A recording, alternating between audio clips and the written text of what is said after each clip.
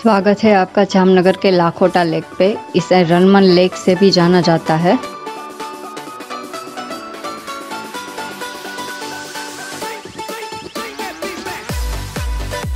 यह है एंट्रेंस जहाँ से लेनी है हमें टिकट। ऑनलाइन भी आप यहाँ पेमेंट कर सकते हैं। Entry ticket price ten rupees है। गेट नंबर वन से एंटर होते ही राइट साइड हम आगे बढ़े। जहाँ ड्रिंकिंग वाटर और वॉशरूम मिलेगा आपको। तो ये है लाखोटा लेक के बीच बने म्यूज़ियम के नज़ारे दूर से। अंदर भी हम लोग जाएँगे।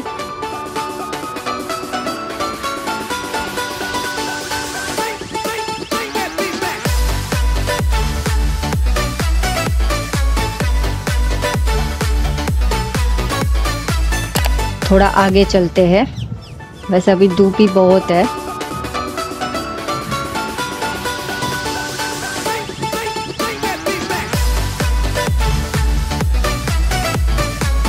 ये हमें दिखा।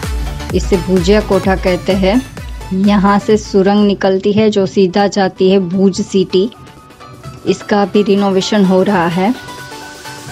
अभी हम आ गए लाखोटा पैलेस म्यूज़ियम के एंट्रेंस पे। यहाँ थोड़ी इंफॉर्मेशन दे रखी है।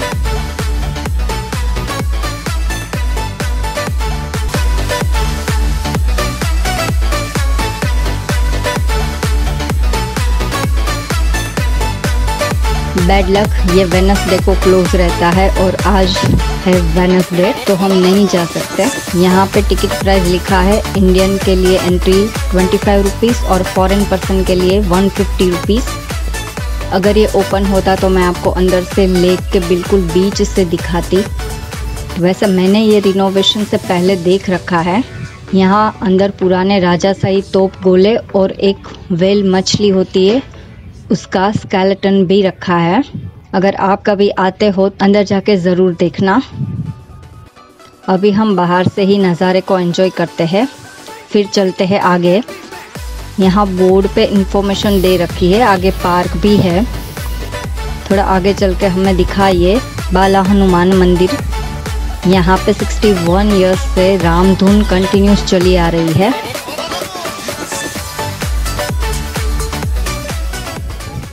यहाँ पंछी को दाना डालने के लिए ये बनाया है।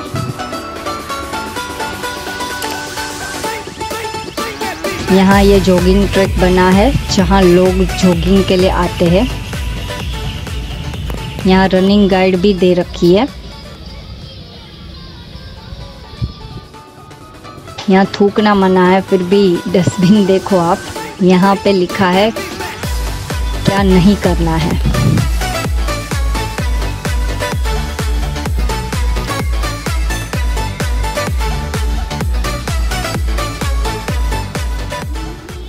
ये लेक पूरा सिटी सेंटर में है और अंदर आने के लिए नाइन एंट्री गेट है। एटीन सेंचुरी में ये लेक जाम रनमल के द्वारा बिल्ड किया गया था। महाराजा रंजीत सिंह का स्टेचू है जो सामने घोड़े पे है। यहाँ ये आज़ाद बाग से गार्डन है। देखते हैं अंदर जाके सीढ़ी चढ़ के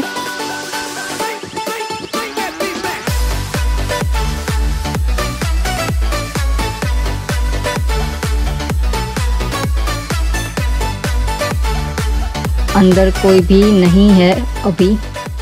देखते अंदर जाके। सीढ़ी चढ़ के देखा, अंदर कोई भी नहीं है। अभी छोटा सा क्यूट गार्डन है और यहाँ बैठने के लिए ऐसी कुटिया बना रखी है। अच्छी है। अभी हम थोड़ा सामने आ गए पैलेस के और ये है नज़ारे। इसके बिल्कुल सामने भी ये जाम साहब का स्टेचू बना रखा है, जिसकी भी रिनोवेशन चल रही है। थोड़ा आगे ये जगदम्बा गार्डन दिखा तो अंदर चलते हैं।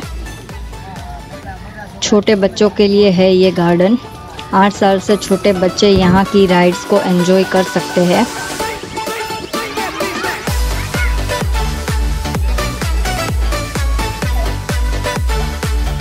यहाँ ये एक ब्रिज जैसा है, जो गार्डन के दूसरे पार्ट में जा रहा है।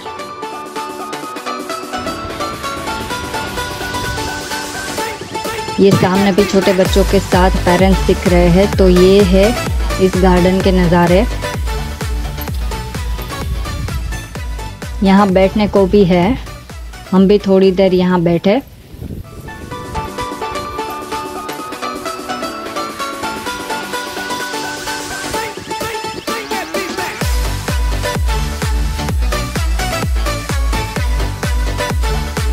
ये हमने आधे से ज़्यादा राउंड कंप्लीट कर लिया। सामने जो बिल्डिंग है, यहाँ से भी हम लाखोटा पैलेस की टिकट लेके एंट्री ले सकते हैं।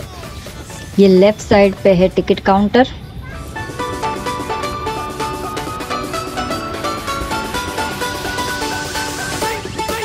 अभी सनसेट होने को है और लेफ़्ट साइड पे ये जिम इक्विपमेंट भी दिख रहा है। चल के अंदर देखते हैं। ये झीम के सामने वाली साइड पे फ़ूड स्टॉल भी है। अगर भूख लगे इतना चल के तो आप यहाँ पे खा सकते हैं। तो ये है जिम एरिया और लोग यहाँ एक्सरसाइज कर रहे हैं।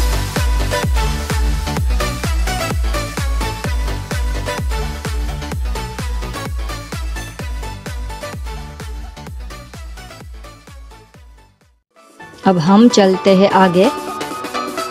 ये एक और एंट्री एग्जिट गेट है। अभी शाम होने को है तो फाउंटेन भी स्टार्ट हो गए हैं। यहाँ लेज़र शो भी होता है। अभी शायद पता नहीं चालू है या नहीं।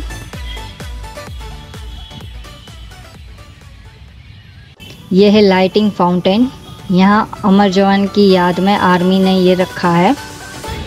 ये लेक का रिनोवेशन और ओपनिंग 2016 में हुआ था। दोपहर को यहाँ कोई नहीं था और अभी इतने सारे व्हीकल आ रखे हैं।